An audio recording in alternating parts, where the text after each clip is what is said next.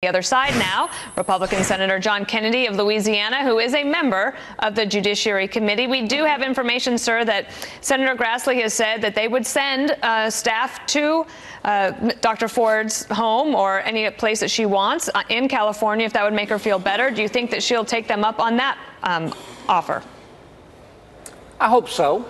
Uh, we've done uh, everything we can to try to accommodate Dr. Ford, um, the, the, she, either her or her lawyers keep moving the goalposts, which is a little frustrating. But I can tell you, we, and by we I mean my colleagues who happen to be Republican on the Judiciary Committee, we met Monday. We agreed to conduct a public hearing.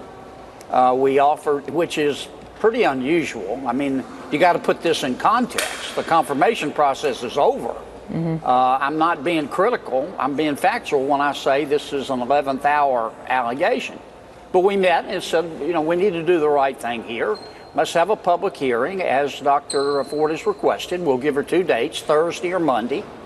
Um, ultimately, it was decided, I think, by Senator Grassley to do it Monday.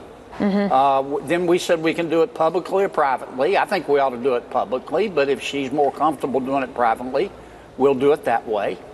Um, I'm not convinced, I know I'm in the minority, that Dr. Ford uh, won't appear Monday. Uh, she's changed her mind a couple of times in this process. I'm not, I'm not being critical. She just well, has. They, her lawyer said last night that she would um, only agree to come if the FBI does a thorough uh, investigation right. into the background check. It, do, would you support the FBI looking, you know, opening up that background check for Brett Kavanaugh, doing an investigation and reporting back to you um, so that you maybe then have a clean way to get to this uh, vote?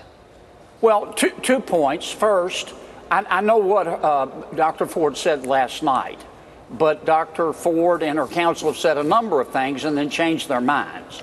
Originally, Dr. Ford wanted to remain anonymous. Uh, then she reached out to give her story to the Washington Post, and mm-hmm. somebody, either on her behalf or not on her behalf, leaked the letter, which I haven't even seen yet, to the New Yorker.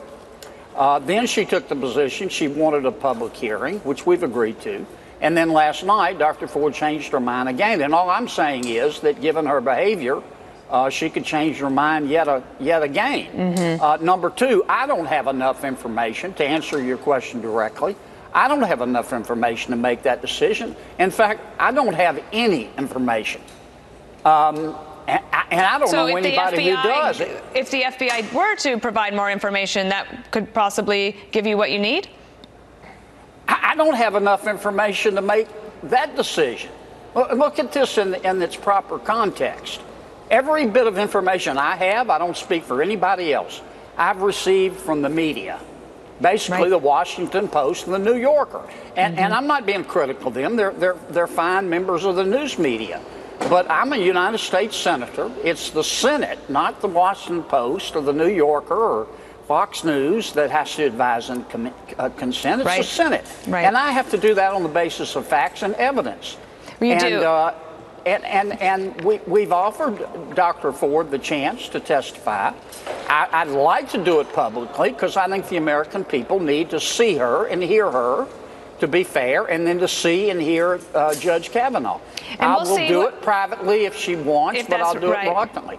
I only want to interrupt you, sir, because we're running out of time, okay. but I do because there's been some progress on an important matter uh, to the American people, and that is the opioid crisis. Um, I know that you have a lot of uh, skin in the game here when you've been trying yeah. to lead this effort. In just 30 seconds or so, tell them what you think will happen if this bill does actually get to pass. Well, Senator Durbin and I had a bill that we folded into the larger bill, and it's basically directs our Food and Drug Administration to stop allowing pharmaceutical companies to make as many opioids as they can possibly sell available to anybody who wants. Mm-hmm. Uh, use a little discretion and start considering the fact that we have an opioid crisis in this country and, and, and to direct the FDA to do its job. Certainly, the American people are worried about that crisis, and we appreciate you coming on today to talk about both issues. Uh, Senator John Kennedy, thank you. Thank you.